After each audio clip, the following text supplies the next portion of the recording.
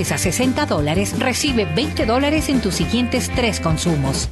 Tarjetas Visa Banco Internacional, tú eres más. Descubre lo que tenemos para ti en Family Season. Aprovecha los beneficios de tus tarjetas Diners Club Titanium y Discover y participe en el sorteo de un millón de millas o dos mil dólares de cashback. Conoce más en beneficiosdelclub.com.es y festejemos en familia. Tarjetas Diners Club.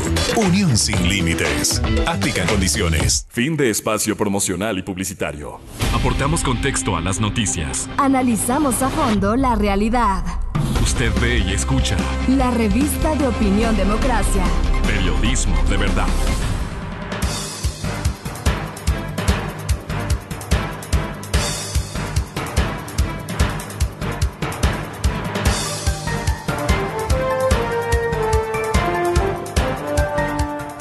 Estamos de regreso y queremos saludar al economista Vicente Albornoz, decano de Economía de la UDLA, al economista Luis Vaca, experto en temas bancarios y, catedrático universitario.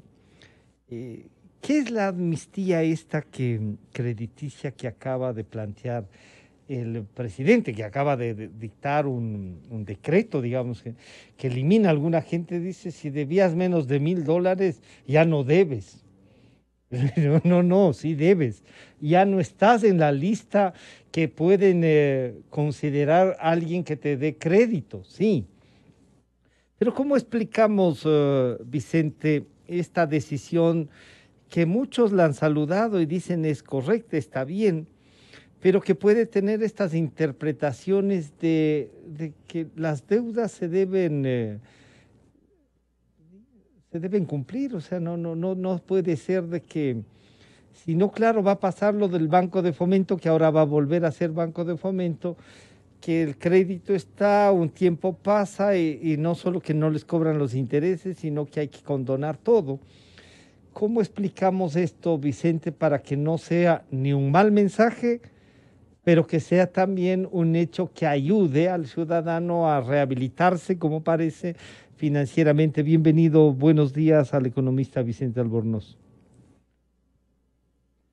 Muy buenos días. Eh, a ver, cuando una persona le debe a un banco y no le paga a tiempo, entonces el banco tiene que hacer más reservas en función de la probabilidad de que esa persona no le pague al banco. Y si pasa más tiempo, el banco tiene que hacer más reservas y algún día tiene que declarar incobrable esa deuda y, generar más reservas todavía. Para que los bancos generen las reservas adecuadas, la superintendencia de bancos generó lo que se conoce como la central de riesgo, que tiene la lista de los deudores que están atrasados en sus pagos y que por lo tanto se vuelven, digamos, unos peores deudores para la banca y la banca tiene que protegerse más de eso. Eso es una buena idea para proteger a la banca y así fue diseñado. No para proteger a la banca, más bien para obligarle a la banca a crear las reservas necesarias para no tener problemas si es que tenía algún deudor moroso. Esa es la central de riesgo. El problema es que después esas, los datos de central de riesgo se empezaron a usar en otras cosas para las cuales no estaban diseñados. Ese es el gran problema. Y hoy lo que se hace es la información que está ahí ya no va a poder ser utilizada para otras cosas. Es decir, yo tengo entendido que podía utilizar, no, que podía, que se utilizaba esta información para temas de hasta, hasta dar empleos y eso no tiene ninguna lógica, ¿no? Entonces, lo que va a hacer es que ya no esté no se pueda utilizar esa información en otras áreas, pero la deuda sigue ahí intacta, inamovible, sin que haya cambiado en lo más mínimo el derecho del banco, de la cooperativa o, del, almacén. Vicente, lo, que, queda entonces ahí claro es que lo que no va a estar es en esa lista si es que es hasta mil dólares.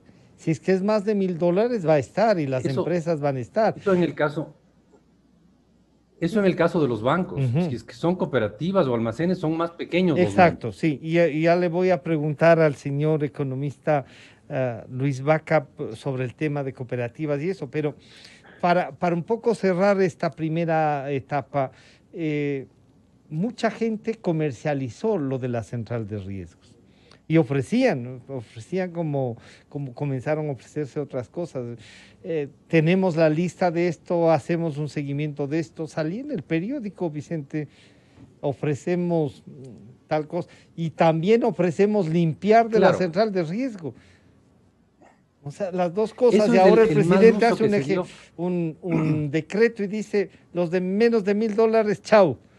No son un riesgo ni para la banca ni para nadie. Cuidado, no es chao de las deudas. No, no, es chao de las deudas. ya, no, ya no va a ser la, información que contaba que debían plata ya no va a ser, em, no sé si no va a existir o simplemente no va a ser pública. El hecho es que ya no va a poder usarse esa información en contra de la persona. los bancos a lo mejor hasta de mil dólares. Perdón, Vicente, los bancos hasta mil dólares ya no notificarán a la central de riesgo. ¿Podría ser esa? Ese, ese detalle ya no sé, no sé cómo se lo haga la, operatividad, pero el punto es, si usted tiene una deuda, la deuda sigue existiendo. Lo que pasa es que su deuda impaga ya no puede ser utilizada por nadie más en contra suya, excepto por su acreedor. Ya. Y ahí sí quiero saludar nuevamente al economista Luis Vaca. Luis, bienvenido, buenos días. Este es otro tema para el sistema cooperativo, el sistema, digamos, más pequeño que la banca, aunque hay algunas cooperativas que han crecido mucho. Pero eh, esto puede ser también más peligroso por esta interpretación de que entonces si es menos de 500 dólares no me preocupo. Y claro, y los almacenes que a veces la tosigan, venga, compre este televisor, está, ahora dicen, ya no puede tener ni crédito para el televisor, ahora van a poder acceder a ese crédito sin esta carga del registro de esa deuda.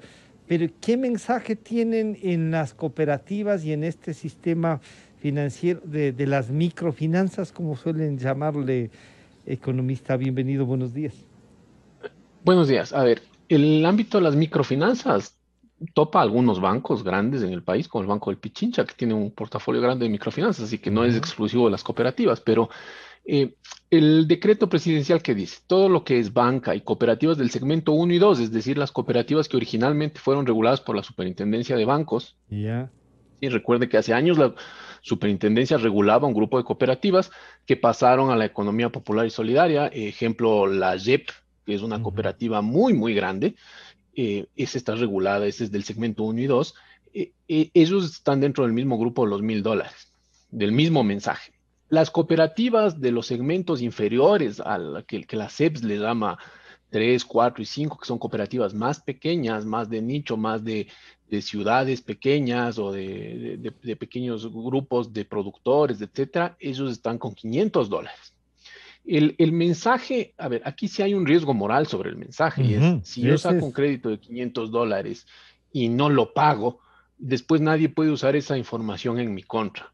Ese es más o menos el mensaje, porque como les explicaba Vicente, la central de riesgos nace por el concepto de precautelar a los depositantes. Recuerde que si es que los bancos no administran bien los créditos, no tienen con qué pagar a los depositantes. Entonces, la central de riesgos nace como una métrica, una medida para obligarle a la banca a entregar buenos créditos para precautelar a los depositantes. Porque recuerde lo que nos pasó en el 99 con los créditos vinculados, ¿no es cierto? Entonces, a partir de eso, la ley ecuatoriana cambia muchísimo, genera muchos escudos a favor de los depositantes, entre ellos el concepto de tener una buena central de riesgos que permite identificar el carácter de los deudores y por eso es que sale la central de riesgos y se concesiona el servicio de buró de crédito. Hay dos buros de crédito que venden la información crediticia a terceros, intermedian esto desde la superintendencia de bancos, sale la información, les entregan a estas dos entidades que están aprobadas en este momento, que es Equifax y Aval. Estos, este, este, estos grupos procesan esa data, hacen modelos estadísticos y con esos modelos estadísticos lo que ellos presentan, porque ya hace años salió una norma que evitaba, por ejemplo, que se muestre la calificación de crédito. Recuerde que hace, hace cinco años en el gobierno de Correa salió un tema en el que usted ya no podía decir este crédito es A, B, C, D, E, ya, ya no se, eso se eliminó. Y usted tenía que presentar una probabilidad estadística. Entonces, los buros de créditos toman esa información y le dicen, usted saca mil puntos, usted saca 700 puntos, usted saca 500 puntos. ¿En función de qué hacen eso? De cómo las personas han venido pagando sus deudas. ¿Sí? ¿Qué, ¿Qué dice el decreto? Todos los que deban o estén vencidos ¿sí? Ni siquiera deban, sino los que estén vencidos, es decir, que si una persona, aquí hay un sesgo también en la información.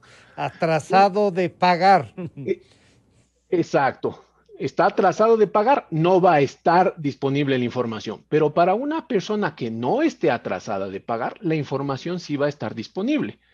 ¿Qué quiere decir eso?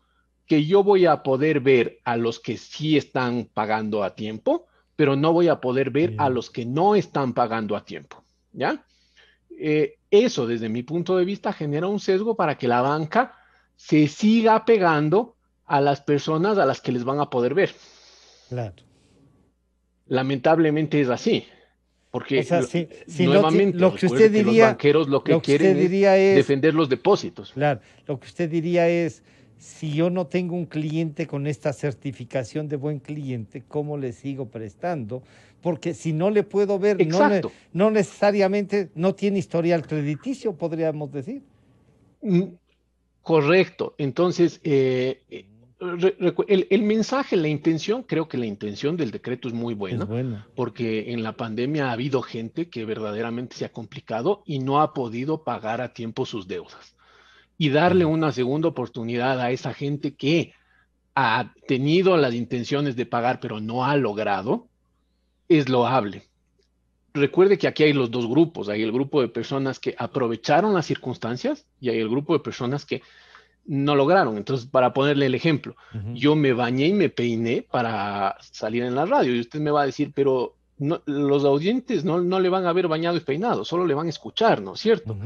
Claro, y, ahí es lo que yo le digo de las intenciones, es, más o menos el mismo ejemplo. El, la, hay, hay dos grupos de personas que, están en este proceso de la pandemia. Hay personas que con los, mil dólares tal vez eh, sacaron un crédito de 10 mil, han venido haciendo esfuerzos y deben mil dólares, pero están vencidos. Pero es el undécimo de ese crédito.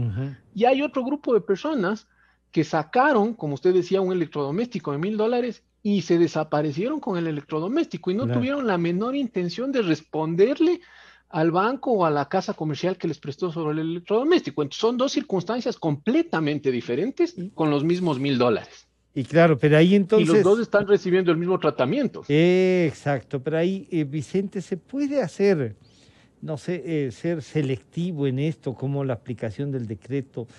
Eh, mucha gente ha saludado y dicen, bueno, sí, ya, por fin. Claro, pero la mayor interpretación es como que les han liberado a los que deben mil dólares o menos de mil dólares, ya no deben. Y lo que está claro es que sí deben ¿No era mejor eh, reprogramarles, ayudar de alguna otra manera a, no solamente un mensaje, decir vamos a trabajar para que sigan saliendo, alguna otra cosa que no sea facilitar más bien el crédito a los que se han estado pagando y como dice el economista Vaca, por la pandemia, por circunstancias, no han podido seguir pagando y si están a lo mejor no con mil, sino con dos mil dólares y están con graves dificultades y necesitan asistencia financiera. ¿Cómo entendemos mejor esto entonces, además de este mensaje que sí puede tener estas dos visiones, Vicente? A ver, yo creo que es importantísimo insistir en que al final, el objetivo de un banco es cuidar la plata de los depositantes. Entendamos que esa es la prioridad, ¿no? Y luego de eso viene el dar préstamos. O sea, lo principal no es dar préstamos, lo principal es cuidar la plata de los depositantes.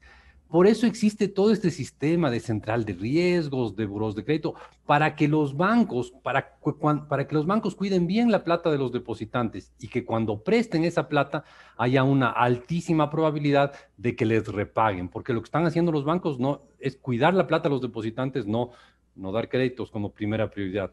lo de dar créditos es la segunda prioridad.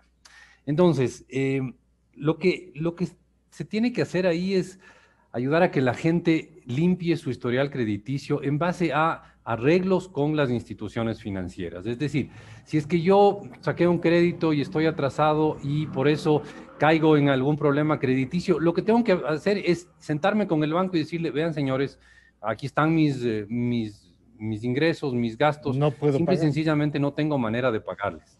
Entonces, lleguemos a un acuerdo. Y eso el 99% de las instituciones financieras de este planeta van a aceptar, porque entre meterse en una pelea eh, y no cobrarle a, una persona, o cobrarle después de años, después de gastos y, abogados y más cosas, o tratar de llegar a un acuerdo, cualquier institución financiera medianamente sensata va a irse hacia el acuerdo. Lo que hay que hacer es facilitar esas cosas. Eh, no, no, no por, no por un decreto automático toda la gente se vuelve buen deudor. No, no, eso, eso simple y sencillamente no va a pasar. Entonces, lo, que hay que facilitar es que la gente llegue a un acuerdo con la institución financiera y ahí sí se limpie su historial crediticio y vuelve a empezar desde cero. Y si es que vuelve a dañarlo, bueno, ya es cosa de cada uno, ¿no?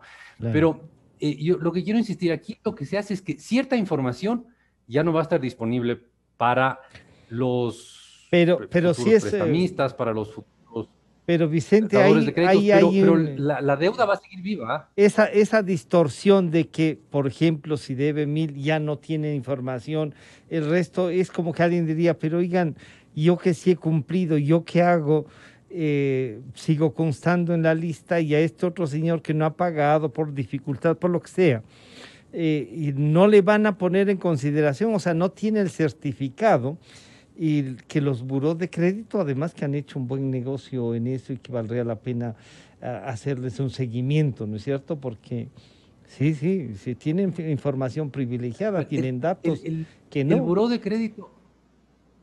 Sí, sí, sí, de acuerdo, pero el buró de crédito, eh, el buró de crédito lo que, lo que simplemente hace es a ver, toma la información, ve el historial crediticio, esta persona se endeudó, pagó bien, pagó bien, pagó bien, aquí pagó mal, después pagó bien, bien, bien. Después hace un cálculo y en función de eso dice, este, este deudor tiene una, un, rating, una calificación de, riesgo de tanto. Lo que pasa es que si esa calificación de riesgo estuviera, ah, eso es lo que yo entiendo del, nuevo decreto, ¿ah? si esa calificación de riesgo estuviera especialmente mala, porque está en la famosa central de riesgo, porque tiene una deuda impaga de más de, menos de mil dólares en el banco, de menos de 500 en las cooperativas chiquitas y de menos de 100 en un almacén, entonces esa información ya no va a ser pública. Pero la deuda sigue ahí intacta, ¿ah? intacta, no, no le han topado en, ningún centavo a la deuda. Lo que se ha hecho es que la información sobre la morosidad se vuelva, en los casos de los chiquititos, más reservada. Sí, pero a ver, a mí, yo le encuentro que sí tiene ciertas ventajas de este, este volverle invisible, porque eh, a veces es gente muy, muy pobre que... Se nos congeló la... Se congeló la imagen, Vicente, ya enseguida volvemos. Economista Vaca, esto que puede sonar, como dice eh, Vicente, sí es un tema que puede ayudar a, la gente a su, a su historial crediticio. Pasa también eh, esto con las tarjetas de crédito, eh, economista Vaca, ¿para qué les van a servir? Por ejemplo, la norma es exactamente la misma para todo tipo de crédito, incluido las tarjetas de crédito. Entonces, si yo tengo una operación con una tarjeta de crédito de menos de mil dólares y he venido pagando mal, voy a volverme invisible de cara a el, el, proceso. Está Vicente nuevamente. Perfecto.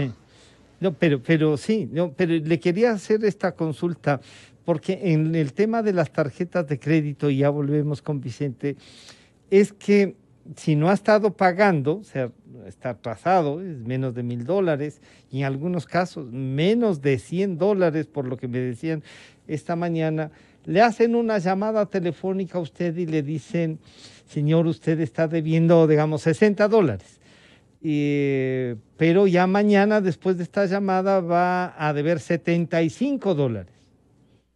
Y entonces han pasado en la pandemia y ahora resulta que de los 60 dólares que tenía hay que sumar 300 de las llamadas telefónicas de gestión de cobro. Esto no tiene nada que ver, eso, se suma. Eso no tiene nada que ver.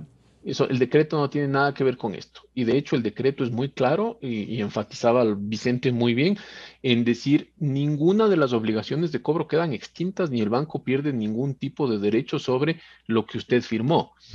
Y la ley le permite a, las, eh, a, los bancos eh, cobrar sobre las gestiones de cobranza, lo que cuesta la gestión de cobranza. Eh, Y eso no ha cambiado. Entonces, si usted no pagó un mes, le hicieron una gestión de cobranza, el siguiente mes tiene que pagar lo que debía, más la gestión de cobranza, más los intereses eh, no, no, correspondientes un, un señor me decía ahora, perdón, economista, un señor me decía que se, se, había quedado un justo un saldo de gestión de cobranza de 15 dólares y que ahora cada vez que le llaman le suman 15 dólares por gestión de cobranza y él que ya no debía nada ahora debe como 400 de gestión de cobranza y tiene intereses. Eso es un asalto, es de delincuentes, pues economista acá. Sí, a ver, yo no estoy de acuerdo con ese caso en particular. Sería muy importante que esa persona acuda a, el defensor del cliente que tiene cada banco. Cada banco tiene una persona que, que, que, que, se puso por norma. También puede ir a la superintendencia de bancos y presentar su caso porque no puede una empresa cobrarle solo las gestiones, ¿ya?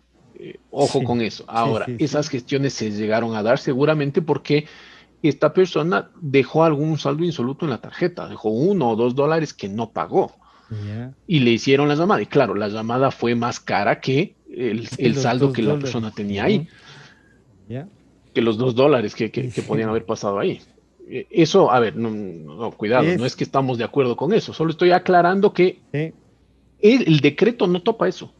Eso sigue funcionando como siempre funcionaba. O sea, las personas que ya no estén en la central de riesgo van a seguir recibiendo la llamada de las empresas de cobranza para decirles, oiga, usted debe plata.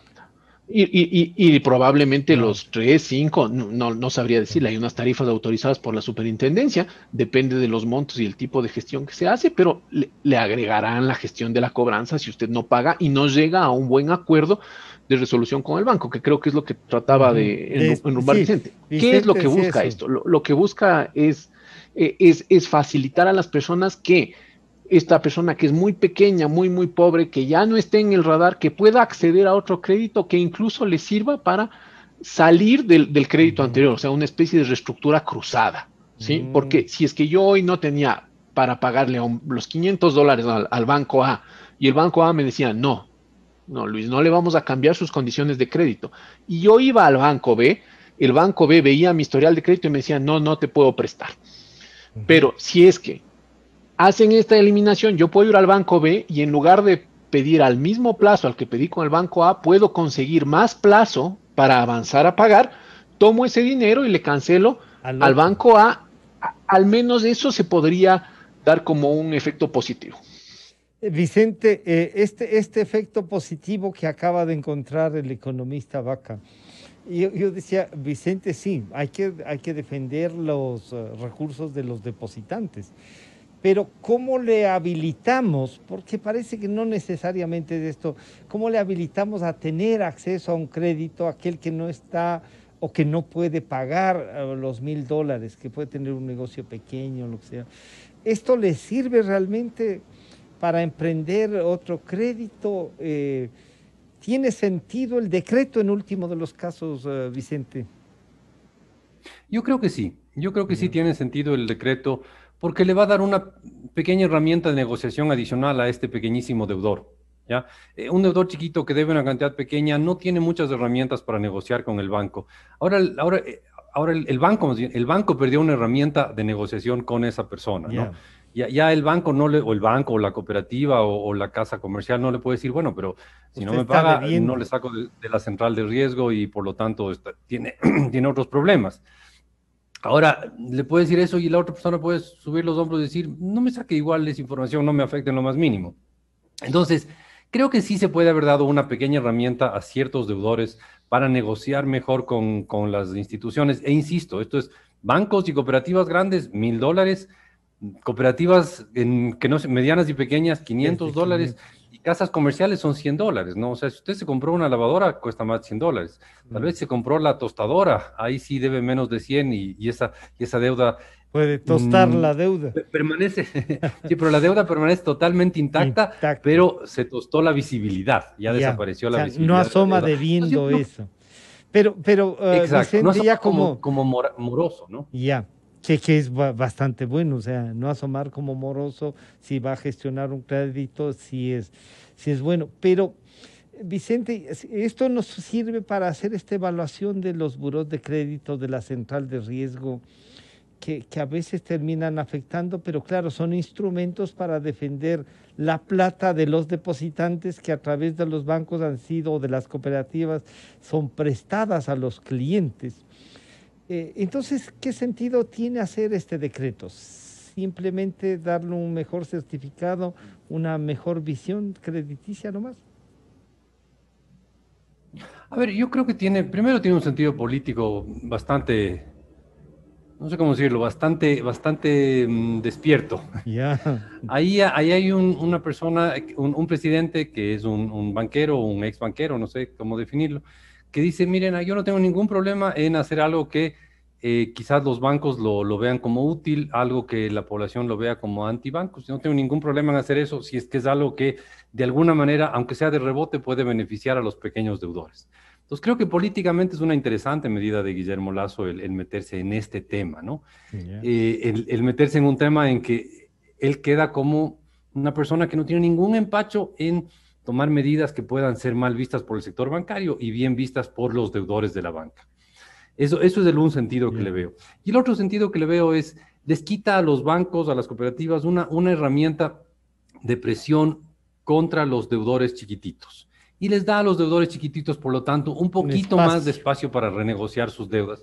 Seamos prácticos, no hay una salida mágica para esto. La única salida es que la gente se siente, y eso es, es lo que uno debe recomendarle a cualquier deudor eh, de buena fe, ¿no? Vea, siéntese con su acreedor, explíquele su situación y dígale, no le puedo pagar, demuéstrele que no le puede pagar. Porque ahí hay, siempre hay dos factores en el tema de cobrar una deuda, ¿no? Puede pagar, quiere pagar. Si es que usted sí quiere, pero no puede, está en una posición mucho más, mucho mejor para negociar con el banco.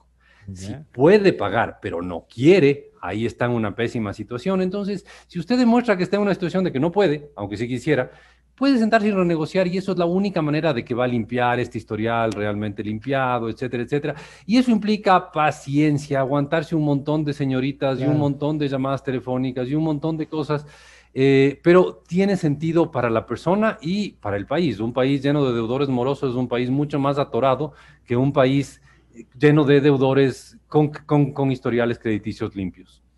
entonces, em, ingeniero Vaca, economista Vaca, digamos Luis, eh, este aporte este aporte para mejorar las condiciones, sería como nos explica Vicente, eh, lo que hace es que el banco pueda no tener la presión de estoy negociando con un moroso, pero como dice Vicente, es también la actitud del deudor, ¿no? Que sabe que tiene una, una deuda y que se sienta a negociar y esto puede afectar a los más pequeños, por más que sea el monto menor, las cooperativas eh, están pues dedicadas a montos menores en general, Luis. Eh, a ver, las cooperativas, el, crédito promedio de las cooperativas eh, de los segmentos 3 y 4 está alrededor de 1.500 dólares. Es decir, que la norma le pusieron sobre un saldo insoluto del 30% de su crédito promedio. No, no mm. es tan, tampoco tan, tan, baja. Ah, tomen en consideración eso. El crédito, promedio, el crédito promedio de microcrédito que están otorgando los bancos está alrededor de 3.500 dólares. Entonces, más o menos lo que hicieron es decir, ok, vamos a buscar gente que eh, haya pagado un 70% de su crédito y que se haya quedado. ¿Dónde, dónde hay el, cortocircuito ahí con las tarjetas de crédito? Porque los saldos de las tarjetas de crédito sí son totalmente eh, dispersos, ¿no? O sea, usted puede haber comprado 60 dólares de la tostadora que decía Vicente, ¿cómo pudo haberse comprado una moto de 5 mil dólares? Y, si está debiendo los mil dólares vencidos sumados es equivalente. Entonces ahí se pierde esa, esa, esa buena intención del decreto, si se le quiere ver. Pero, pero no es que le va a complicar. El, mayor problema que tenemos en el Ecuador para la profundización financiera, para los créditos pequeños, es el techo de las tasas de interés, no la información crediticia. Esto no se tiene que atacar por, por, información crediticia, más bien todo lo contrario, se debería buscar que se libere de mejor manera la información crediticia y liberar los techos de las tasas de interés. Porque hacer un crédito pequeño es costoso, lamentablemente. En relativo es costoso. Cuando usted presta 400 dólares, tiene que cobrar probablemente otros 400 dólares de las personas que están involucradas. Es una tasa del 100%, que suena a natosismo, pero, pero es así. Mientras yo no libere las tasas de interés, eh, es bien difícil que esos créditos muy pequeños vivan. Y por eso es que Ecuador no, tiene, no tiene profundización financiera desde el 2008 que pusimos las tasas de interés, los techos. Y yo les voy a comprometer nuevamente a ustedes para tratar el tema de, las, eh, de los techos y de las tasas de interés, porque claro, ese, eso es un tema que también se ha debatido, o sea, se deben o no fijar las tasas, como se fijan, aquí han sostenido, eh, el propio Vicente ha sostenido que, que eso baja incluido el riesgo país, aunque hay un decano que dice ya ha subido el combustible, pero ya bajó el riesgo país, eh, manejando una ironía de ladrillazo, pero ironía al fin, dicen algunos, ¿no? Vicente y Luis, muchas gracias por acompañarnos. Quedan comprometidos para tratar el tema de tasas de interés. Gracias por acompañarnos ahora. Un gusto, Vicente, un gusto, Luis. Muchas gracias. Hasta luego. Enseguida volvemos. La revista de Opinión Democracia agradece a las siguientes marcas. Inicio de espacio promocional y publicitario. Si eres de los que ama estar en casa, pues con Banca Virtual Intermático puedes pagar tus impuestos prediales desde el lugar